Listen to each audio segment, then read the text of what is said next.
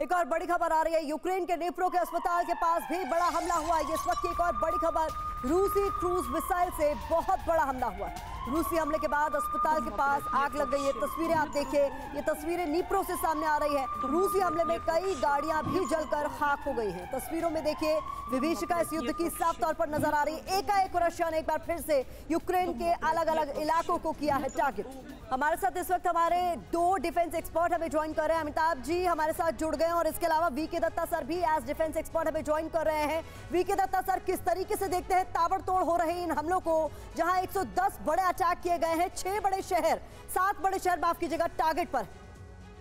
बिल्कुल, देखिए, ऐसा है कि ये रशिया का अटेम्प्ट है। यूक्रेन की विल पावर को खत्म करना, उनकी फाइटिंग स्पिरिट को डिमिनिश करना। और ये कार्रवाई जो है रशिया को मालूम है कि अभी वेस्ट और अमेरिका की तरफ़ से जो सपोर्ट मिल रही थी यूक्रेन को, वो आस्ते आस्ते कम होती जा रही है। और जो यूरोपियन कंट्रीज़ हैं, उनके अंदर भी आपस में एक मतभेद है कि कितनी देर तक आप सपोर्ट करेंगे यूक्रेन को। तो इसका फ़ायदा अभी रशिया उठा रहा है और आगे चल के जैसे जैसे विंटर और बढ़ता चला जा रहा है तो रशिया के टेवर और भी अग्रेसिव हो जाएँगे।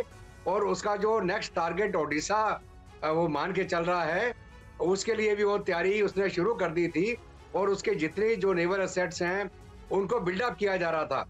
आपको मालूम होगा, पच्चीस तारीख को उनका एक एलएसटी को दबाया यूक्रेन ने और वो एलएसटी और उसके अलावा दो और एल पहले बर्बाद किए गए थे। ये एल एस टी फीबियस के अंदर इस्तेमाल होते हैं। जब आप समुद्र के रास्ते जाके किसी इलाके को कब्जा करते हैं। तो अभी जो रशिया है वो जो प्रॉब्लम अभी यूक्रेन फेस कर रहा है लगातार उसकी जो फाइटिंग कैपेबिलिटी आर्मामेंट हथियार और सपोर्ट फ्रॉम द वेस्ट उसका वो अभी फ़ायदा उठाने की कोशिश कर रहा है रशिया।